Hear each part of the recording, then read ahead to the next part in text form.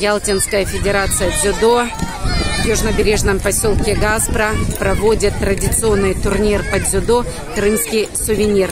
На этой площадке выросло уже несколько поколений успешных спортсменов и, самое главное, достойных граждан своей великой страны. С праздником, друзья! С Днем Великой России!